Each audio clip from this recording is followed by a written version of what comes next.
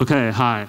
Um, so today we're, we're presenting basics of zero-knowledge cryptography and our domain-specific language Keelung.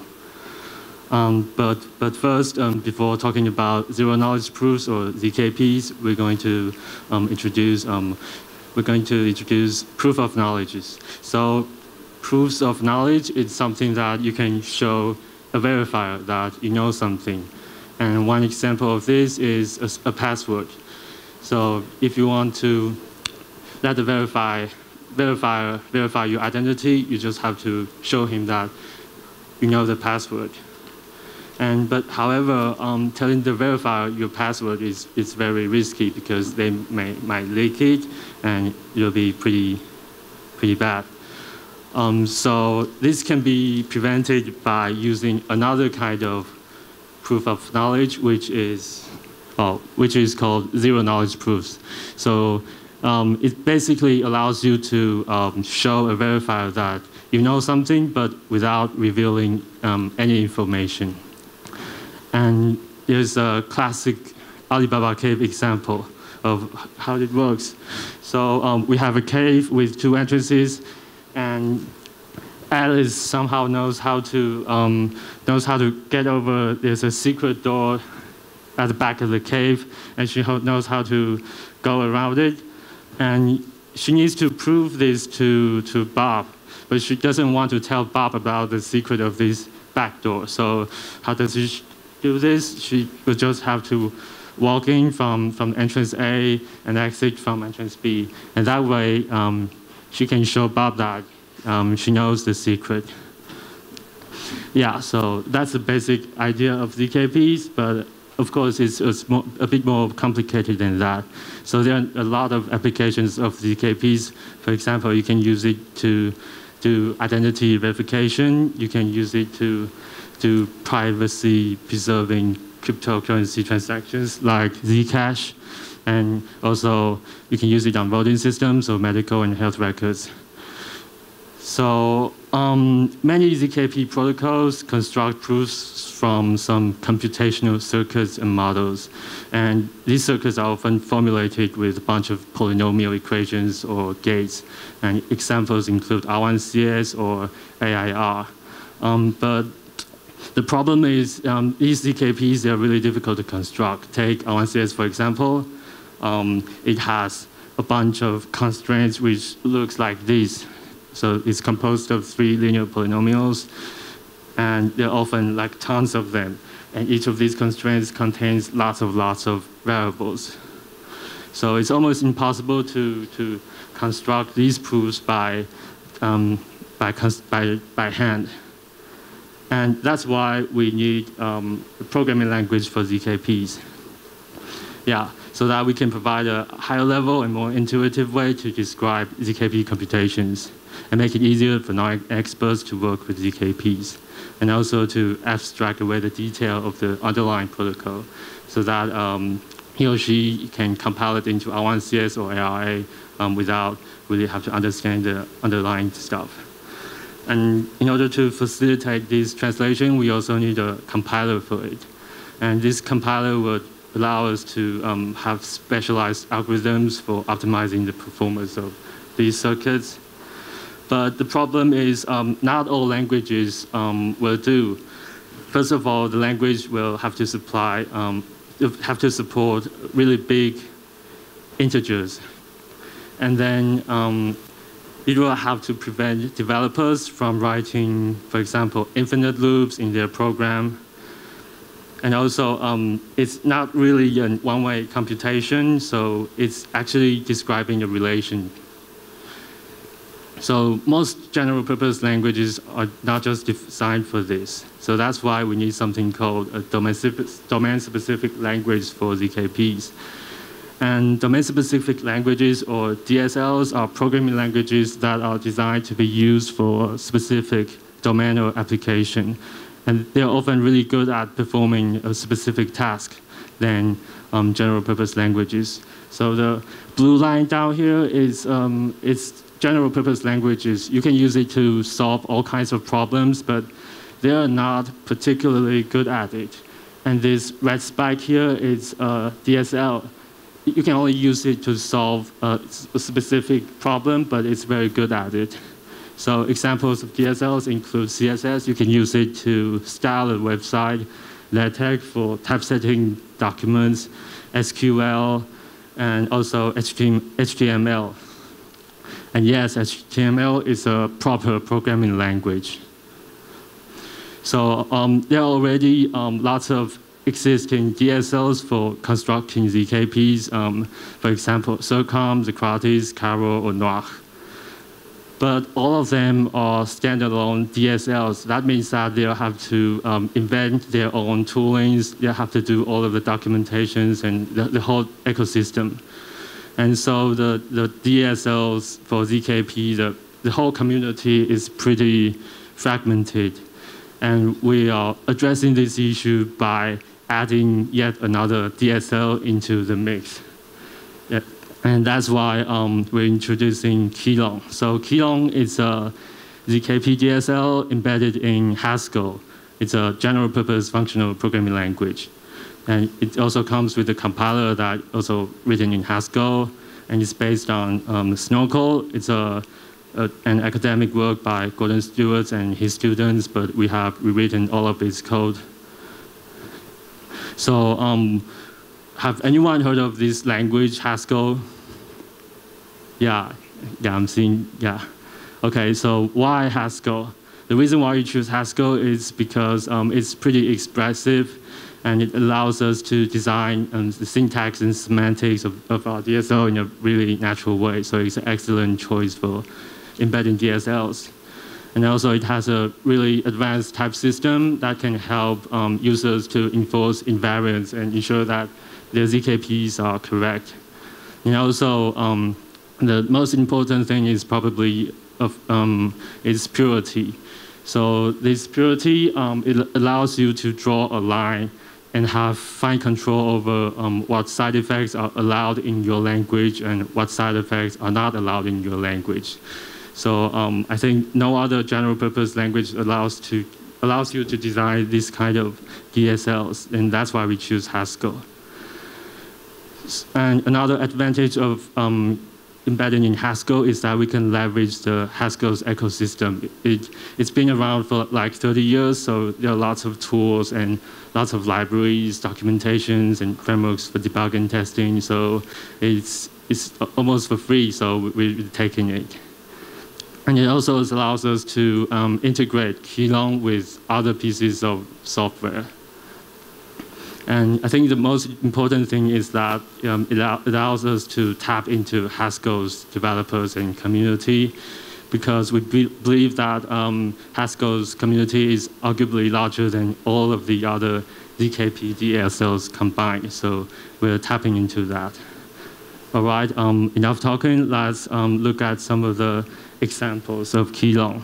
So um, because since Haskell is embedded in that, Keelung is embedded in Haskell, so it has all of the features such as functions and model system. We don't have to do it alone. And so we only have to maintain a really small and simple core language that provides the basic building blocks and a small interface for bridging these two languages.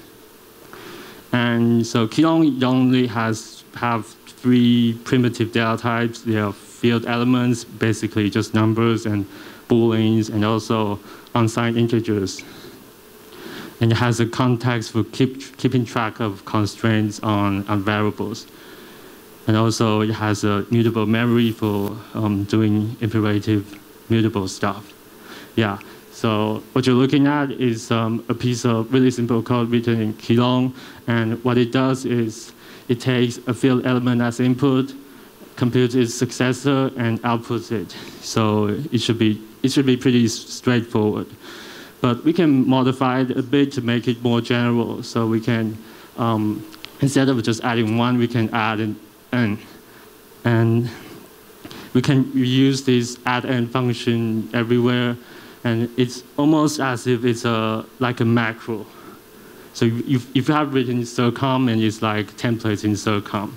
And this is um, essentially meta-programming in Keelung. And we can do this because we are embedded in another meta language called Haskell, and it has functions, so we can make use of that. And let's look at the control flows. We can also loop over a bunch of numbers like this because um, we have a lot of these combinators in Haskell for doing this kind of stuff. And you have loops now. Um, what about conditional branches? You can, um, in this example, we can take an input and see if it's equal to 42. If it's true, then we can output 100 or else um, zero. So we can do conditionals in, in Keelungs too. And finally, um, let's look at unsigned integers. Unsigned integers is like um, a demon baby of field elements and booleans because it possesses both traits of uh, traits of both um, data types. So you can do arithmetics, but also logical operations on it. So in this example, the developer he's asking for an unsigned integer of 32 bits, and he's doing some masking. And if you look closely, um, you can see that there's a number in the types, and this is possible because um, Haskell has this kind of dependent types ability. So, so you can annotate these numbers in the type itself. And this way we can provide um, developers from mixing, for example, um, integers of different widths together. And this can um, prevent um, a, a, large, really wide range of type errors. And since um, ZKPs are all about constraints on variables, developers can, of course, impose um, constraints they want by making these assertions. So in this example, it would generate a constraint like this, and it's basically saying x will have to be equal to y. And finally, um, we have um, constructed um, a simulated memory for mutable arrays um, because we know that um, a lot of developers are more used to languages like C or Python. And these languages um, all have mutations and assignments, so we have put affect memory in it in order to cater to these developers. And also because there are a lot of pseudocode, they're um, described in this way. Yeah. Okay, and finally, um, we have designed an interface between Keelung and Haskell. And the reason why we do this is that we want to reuse as much existing Haskell code in Keelung as possible. And so um, with this interface, um, developers, they can specify how to compile their Haskell data types into Keelung data types. And this can be, be done automatically, so they'll have, have to only declare it once and they can use it everywhere. Yeah. Um, finally, um, toolings. So um, toolings are very important because we want to make this um, ZKP construction as seamless as possible. So Keelung is also bundled with a compiler for generating circuits and an interpreter for testing and witness generation, and also Z ZKP prover and verifier.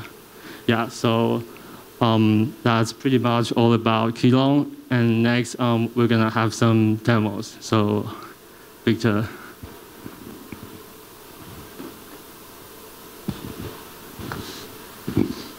Hello, uh, hello everyone. Uh, my name is Victor. I'm also an engineer at BTQ. So now I'll be talking about uh, some demos. Uh, I assume a lot of people here already know what a Merkle tree is. Um, so basically, it's a data structure built from a list of elements, and each node in a level of the Merkle tree is a hash of two nodes uh, in the next level of it. So basically, that's how you construct a binary Merkle tree, right?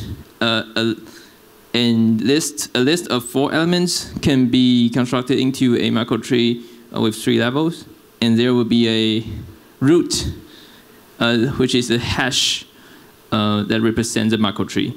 And with Little Knowledge Proof, a user can prove that they know a hash that is a member of the Merkle tree uh, without revealing which one they know, because publicly everyone just know the root of the Merkle tree. They don't know uh, what members it has. So here's an here's an example of uh, how you write a proof of Merkle tree membership in Circom, another language for um, this kind of constraints. Uh, it, it's the, the, the, code is very tiny because uh, we are not going into the details here, but basically uh, it asks users to provide uh, a leaf that is a member of the tree and a path from that leaf to the root of the Merkle tree. So, and it outputs as a root. So basically the user doesn't have to uh, tell which, which Merkle tree it belongs, but well, uh, this circuit will generate it, and the verifier, after taking the root, can check if the root is indeed the one they want. So let's let's see how it looks like in Keelung. So this, this, this program basically does the same thing as the program we just see. Um, you can see it's much simpler, it's shorter because we make use of the fold, the fold construction in Haskell. Um, if you don't know what the fold is, uh, I'm sorry I can't explain it right now, but just here to show that it's kind of simpler. Let's see a more complicated example. Um, a semaphore is a protocol that allows, uh, a semaphore is not something that you can you see in system programming, but it's a not it's a protocol that consists of groups that store identities of users and numbers that represent events, such as votes. And this protocol allows each user in the group to send a signal corresponding to an event. And it has some constraints to uh, satisfy. First of all, it's verifiable, it's veri uh, verifiable such that anyone in the group can know the signal is sent by someone from the group, but also it's anonymous. So nobody can know which extra member sent the signal. And uh, furthermore, a signal corresponding to an event can only be sent once and only once by a user. How do we satisfy these um, conditions? In practice, a user sends a proof consisting of their identity, and which consists of two numbers. And of course, the proof of membership. These two proofs uh, are basically something you, you will provide uh, in the previous Merkle tree example. And uh, third, the event they want to signal, that is the random number I just mentioned, that represent an event. We call it external nullifier. And of course, the signal message itself, that's a string. And how do you verify the proof as a verifier? So if you are a smart contract or server, you take the root um, that is supposedly is where the user belongs, and the hash of uh, an identity of the user and the external nullifier that represent the event, such that the verifier can store it somewhere and check if the signal, uh, if that user has already sent the signal before, because the, the hash here is unique. And everyone can only has one of this hash. And of course, the event uh, that's happening and the signal message that is public and the verifier can verify the, the message is actually sent by the user and the proof, the whole proof that's uh, provided by the user. So this whole constraint is kind of, is kind of complicated. Uh, this, uh, this image is from the CIRCOM, uh, is from the uh, designers of the protocol. They wrote the program in CIRCOM. So the whole program looked like this, um, which make use of a lot of like hash functions uh, and some other function, some other calculations that's uh, not shown, not shown here, but here is the corresponding program in Keelung. So as you can see, it's much simpler. I'm sorry the code is very tiny, but we can see the actual code here. Uh, here's a semaphore court. I split it into two functions. So um, in general, yeah, I think it's, um, it looks much simpler to me. So let's do some quick demo. How do you um, verify, how do you verify a program? So, for example, if I can, uh, can I do it?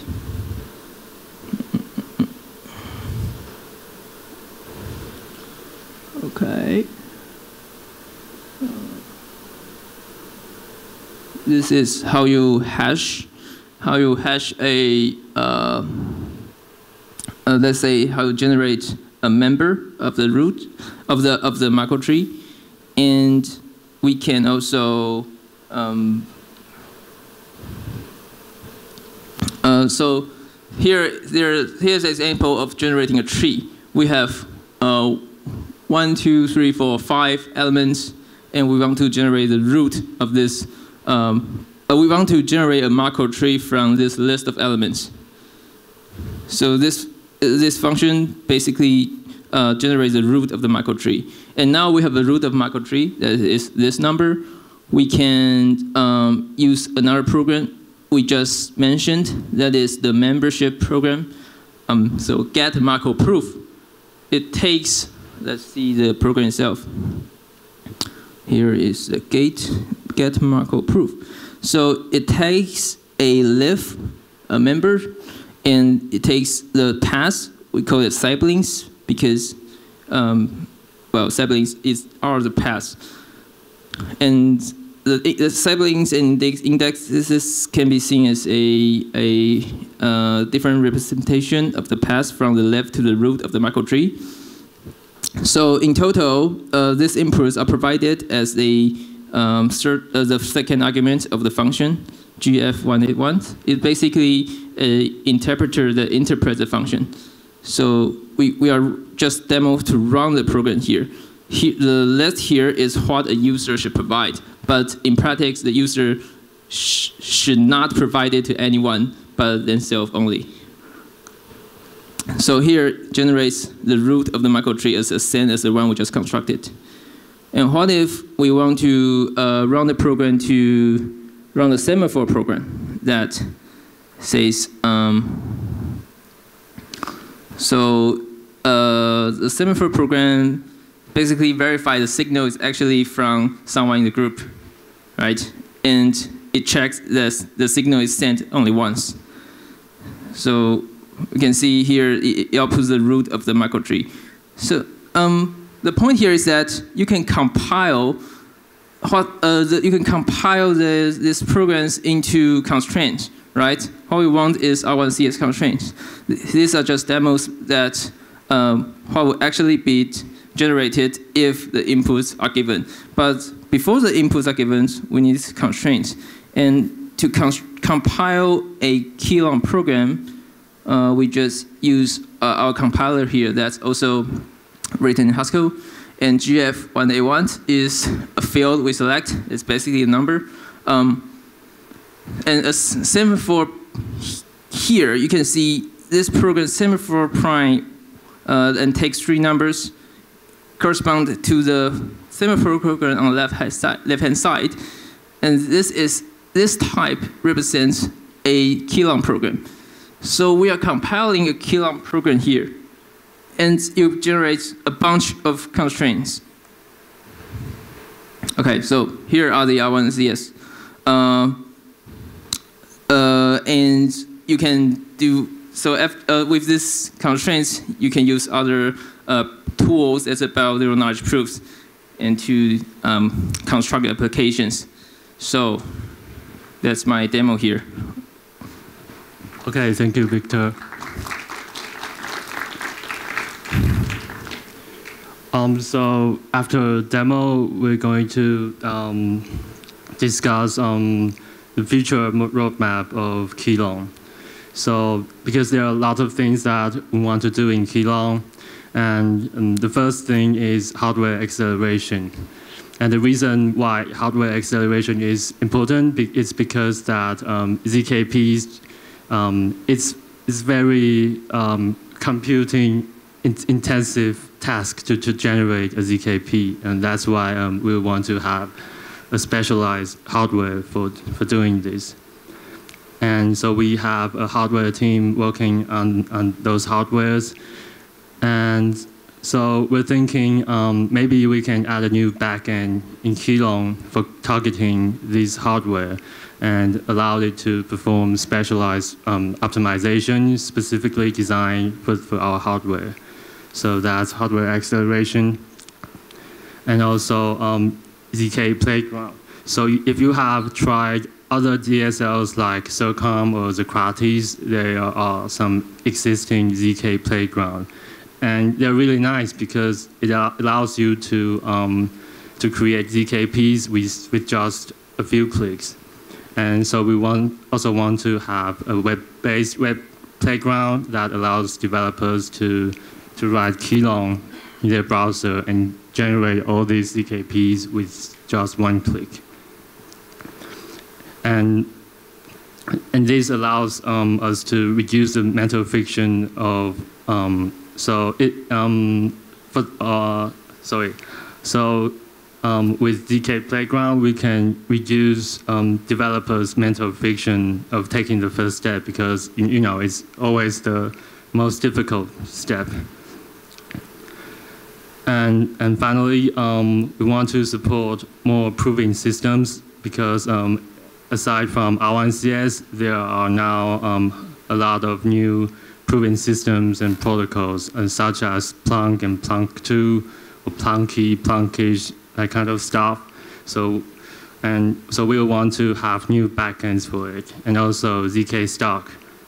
So, um, yeah, that's um, that's a few things that um, we want to add to Keelung in the future. And now um, we'd like to pass the stage to our partners at Holonym who are using Keelung to build their DID protocol yeah, let's welcome Nanak from Holonym. Please switch the slides to the uh, Holonym slides. Or?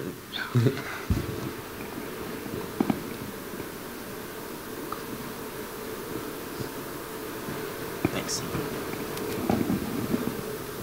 Hey, what's up? Um, thanks for the amazing demo, BTQ. Um, and yeah, thanks for inviting us up here.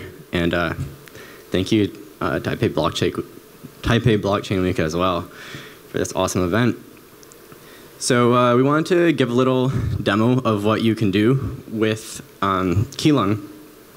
So we're going to walk you through what we built with Holonym, just as a quick demo to see a use case. So I'm going to give a little overview uh, first of what Holonym does and the problems that we're setting out to solve, and uh, also going to go over a little recap of the cryptographic primitives that were discussed in the, the previous talk, um, and then tie it all together with like a little video of uh, everything coming to action to identity protocol. So Holonym is a ZK identity protocol, right? So you can prove facts about your identity without revealing them, and uh, there, there are lots of use cases of that. So the, the specific ones that we're focused on are, are one, KYC, because all through crypto, there's become increasing need to verify your users, whether it's for like regulations, proving someone's in a certain country, even outside of Web3, proving someone's above a certain age to get like alcohol or access websites.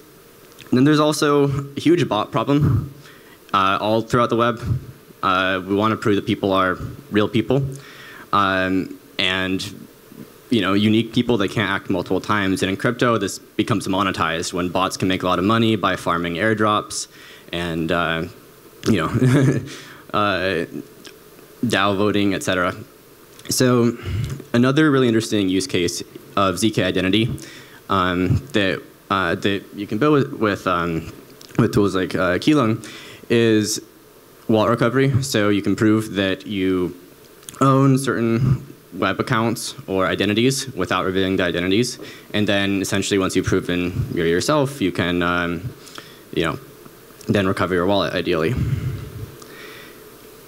So the crypto, cryptographic primitives we employ to do these tasks involve preimage proof. So um, if you're not familiar with the concept of a preimage, just the input to a hash function. So hash function takes as input a preimage, it gives as output a digest. So you want to, uh, you know, the digest is publicly known, but you want to show that you know that private input that makes the hash. So this is used like, honestly, the bread and butter of a lot of applied ZK.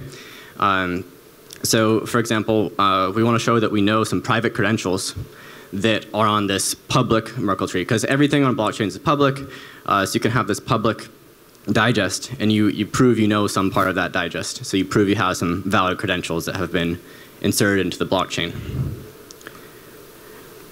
And uh, how exactly are credentials inserted into a blockchain? So um, we use a, a Merkle tree, uh, as Victor covered earlier. Um, so essentially just a hash of everybody's identity, uh, then recursively hashed up until you get to the, the root, which is, contains a hash of everything. So the cool thing about a, a, Merkle tree, this is used a lot in ZK applications, is uh, you know like Tornado Cash, Zcash, um, every ZK identity protocol. Uh, you can prove that you know a specific element which, uh, without revealing the element. So this is what we use to prove that you have a valid identity, that you've passed some sort of KYC, but the person who verified you for KYC can't tell who you are. Um, they can't track your address. So just to see how this works uh, in action,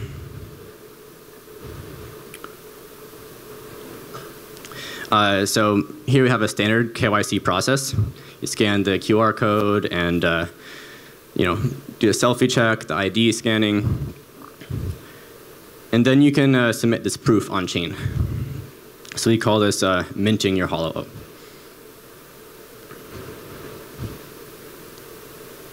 Then here behind the scenes, it's adding your credential to the Merkle tree.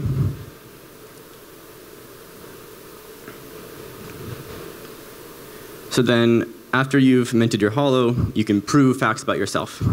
So for example, the, the facts we currently support proving about yourself um, include uh, unique personhood and US residency. And so like this is, for example, if you want to claim an airdrop and you don't want bots to be able to game the airdrop, uh, you can prove you're a unique person. Um, or if it's like quadratic voting, for example, then you can prove you're a unique person. Or if you want to have a DAO that's a democracy, where it's one person, one vote instead of uh, one token, one vote. Right. So um, yeah, those are some some use cases of it. And uh, we've also aimed to abstract away um, a lot of the complicated stuff. Like, uh, I mean, so obviously, as you've seen the previous presentation, it gets pretty complicated behind the scenes. Um, but we want to make it easy for regular developers to use, um, you know, tools like Keelung and Holonym. So uh, then you can fetch the result uh, just with a simple API call, and it calls it from a, a, smart contract. Right, so this tells you whether somebody has a soulbound token uh, saying they're US resident.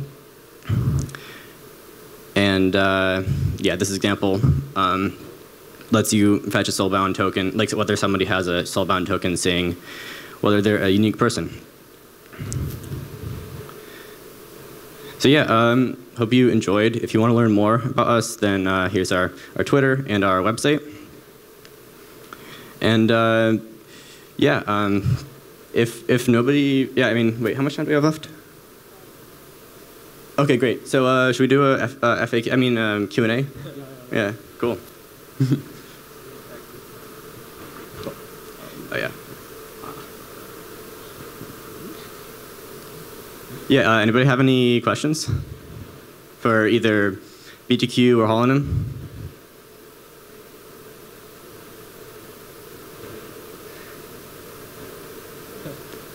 Okay, cool. What's up? Okay. okay.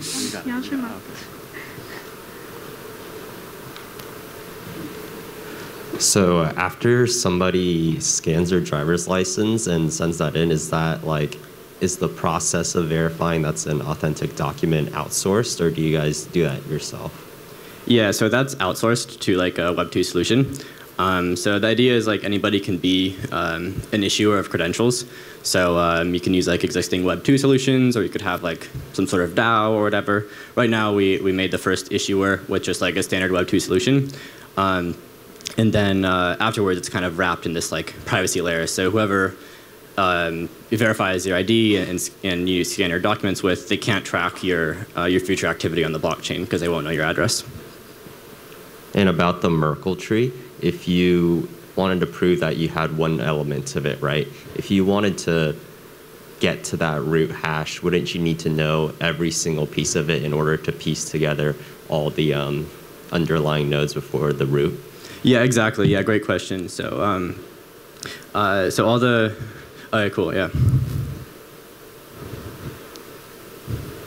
Yeah, just to give a little context uh, to that question, um, uh, for anybody who's not as familiar with uh, Merkle trees, the way a Merkle proof works, right? You want to uh, show you know this element. You have to also show this element. You show that these two um, hash to these, or sorry, you have if you want to show you know this one, then you need to know this one and this one, right? Then you show that these hash to this. You also have to know that. You show these two hash to that.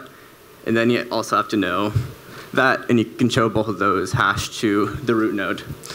Um, so, so yes, you do have to know the neighbors. Uh, the thing is, the neighbors are essentially just random strings to anybody except the people who know the, um, the pre-images to these. Um, so these are like where the secrets are. Uh, you only need to know like this level um, of everybody else's uh, leaves. Because uh, the whole Merkle tree is uh, on-chain, so it's all public.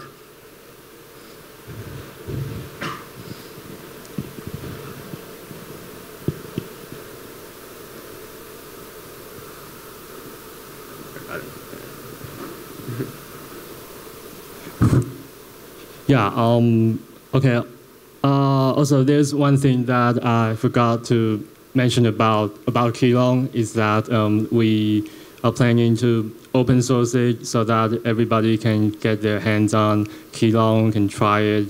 But we are still working on its documentation and licensing that sort of stuff because we want it to be ready when it's available. Yeah. So. Um, yeah, so um, thank you. uh, any more questions about Holonym or Keelung?